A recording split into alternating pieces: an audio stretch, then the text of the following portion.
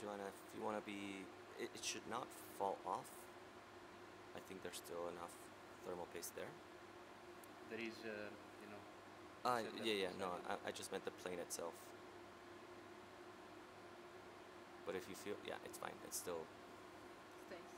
in place, yeah. So it's it requires a bit of, you know, wiggling and stuff to get it to un. But just yeah, just support the whole thing if you can. Mm, Whoa, it's really. Yeah. It's very, very easy. I'm afraid not. Oh to- wait, there's um, not like there's. Hmm? In the back you have the nuts. Yeah. Okay, let's But okay, they should